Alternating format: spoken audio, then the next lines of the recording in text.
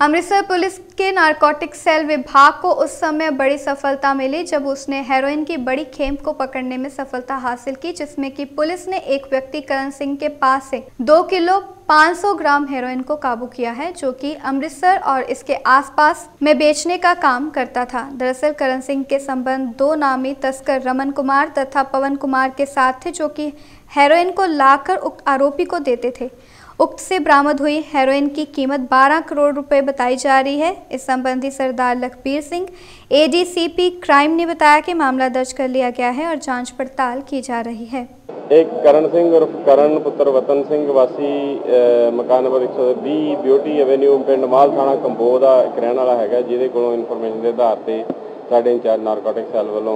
ਅਹ, ਇਹ 2.5 kilo heroin ਜਿਹੜੀ ਹੈ ਰਿਕਵਰ ਕੀਤੀ ਗਈ ਹੈ ਉਹਦੀ ਨਿਸ਼ਾਨਦੇਹੀ ਤੇ ਪਵਨ ਤੇ ਰਮਨ ਦੋ ਭਰਾ ਹੈਗੇ ਆ ਜਿਹੜੇ ਉਹਨਾਂ ਦੇ ਘਰੇ ਜਾ ਕੇ ਉਹਨਾਂ ਦੇ ਘਰ ਸਰਚ ਕੀਤੀ ਗਈ ਪਰ ਉਹ ਮੌਕੇ ਤੋਂ ਭੱਜਣ 'ਚ ਸਫਲ ਹੋ ਗਏ ਦੋਨੋਂ ਜਣੇ। ਤੇ ਇਹਦੇ ਘਰ ਤੋਂ ਪਵਨ ਦੇ ਘਰ ਤੋਂ 2.5 ਕਿਲੋ ਹੈਰੋਇਨ ਅਸੀਂ ਬਰਾਮਦ ਕੀਤੀ ਹੈ ਜਿਹਦੀ ਮਾਰਕੀਟ ਕੀਮਤ ਲਗਭਗ 12.5 ਕਰੋੜ ਰੁਪਏ ਦੀ ਹੈ। ਸਰ ਕਿੱਥੇ ਕਿੱਥੇ ਸੇਲ ਕਰਦੇ ਸੀ? ਇਹ ਲੋਕਲ ਰਿਟੇਲਰ ਸੀਗੇ ਜੀ ਜਿਸ ਹਿਸਾਬ ਨਾਲ ਹੁਣ ਤੱਕ ਜਿਹੜੀ ਮੁੱਢਲੀ ਪੁੱਛਗਿੱਛ ਤੋਂ ਸਾਹਮਣੇ ਆਇਆ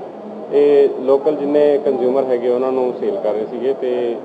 ਇਹ ਥੋੜੀ ਥੋੜੀ ਕਰਕੇ ਵੇਚਣ ਦਾ ਹੀ ਹਾਲੇ ਤੱਕ ਇਹਨਾਂ ਦਾ ਸਾਹਮਣੇ ਆਇਆ। ਇਹ ਹੋ ਸਕਦਾ ਕ੍ਰਾਸ ਬਾਰਡਿੰਗ ਸਮਗਲਿੰਗ ਹੋਵੇ ਬਟ ਕਰਨ ਸਿੰਘ ਦੀ ਜਦੋਂ ਅਸੀਂ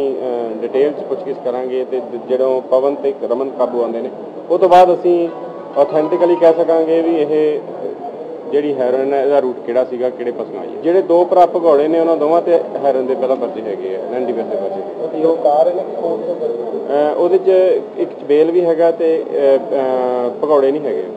ਹਾਲੇ ਤੱਕ ਸਾਡੇ ਕੋਲ ਤਾਂ ਨੋਟਿਸ ਨਹੀਂ ਆਇਆ। ਪੁੱਛਗਿੱਛ ਕਰਾਂਗੇ ਜੇ ਆ ਗਿਆ ਤਾਂ ਤੁਹਾਨੂੰ ਵੀ ਦੱਸ ਦਿਆਂਗੇ। ਹੁਣ ਜਿਵੇਂ ਇਹਦੇ ਕੋਲੋਂ ਅਸੀਂ 2.5 ਕਿਲੋ ਕਾਬੂ ਕੀਤੀ ਹੈ। ਉਸ ਇਹ ਹੁਣ ਨਹੀਂ ਕਿਹਾ ਜਾ ਸਕਦਾ ਨਹੀਂ ਉਹਦੇ ਕੋਲ ਕਿੰਨੀ ਹੈਰੋਇਨ ਸੀਗੀ ਤੇ ਕਿੰਨੀ ਵੇਚ ਚੁੱਕਾ। ਪੁੱਛਗਿੱਛ ਕਰ ਲੈਣ ਦਿਓ ਦੂਜੇ ਨੂੰ ਕਾਬੂ ਕਰ ਲੈਣ ਦਿਓ, ਫਿਰ ਸਾਰਾ ਕੁਝ ਖੁੱਲਾ ਚਿੱਠਾ ਤੁਹਾਡੇ ਸਾਹਮਣੇ ਰੱਖਦਾ